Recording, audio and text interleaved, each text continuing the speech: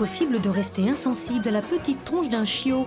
Ce petit animal a le don de réveiller instantanément en nous l'envie d'en prendre soin et un irrépressible besoin de câlin. Et ce sentiment-là est universel. L'animal, c'est vraiment 100% affectif.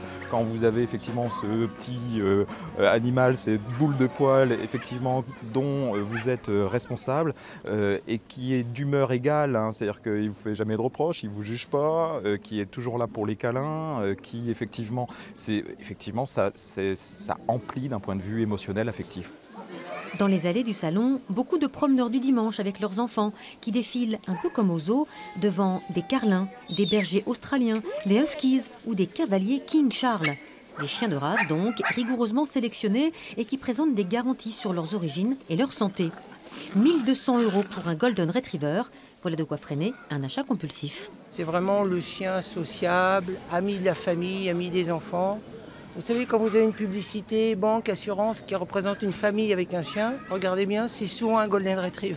On l'a vu, on a craqué, on l'a eu dans les bras et, euh, voilà. Et puis on a eu un petit doute, on dit bon, c'est quand même une responsabilité. Du coup, euh, on est parti, puis on a pensé à elle toute la journée. Et ce matin, on a dit allez, on y va, elle nous manque de trop, donc on l'a pris, voilà. La petite fille de la famille s'appelle Luna et la petite chienne Lune. Ces deux-là étaient faits pour se rencontrer.